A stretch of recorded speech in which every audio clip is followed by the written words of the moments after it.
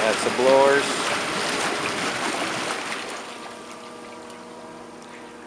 The first pump does not work, but the second pump operates this side of the hot tub. The first pump will also operate two waterfalls,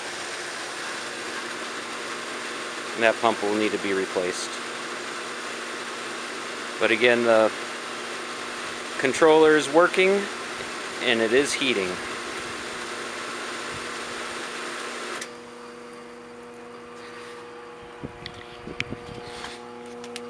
For your handy people out there, I've marked all the leaks with some yellow tape on any of the plumbing.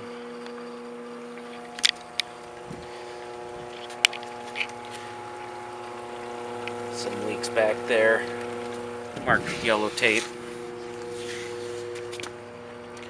This setup over here's got some more yellow tape. See the small small leaks. And that setup up there.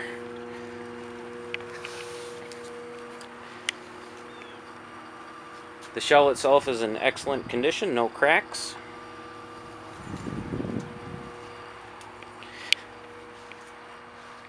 and all of the trim boards are all in place and stained within the last few years. They're not rotting out.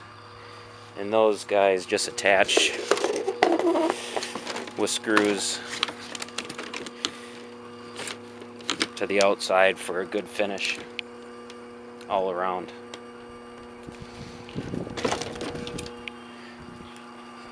tub also comes with a hot tub cover that has seen better days and then also the insulation which will go alongside the hot tub and then put your finishing fascia boards on. Thanks for looking.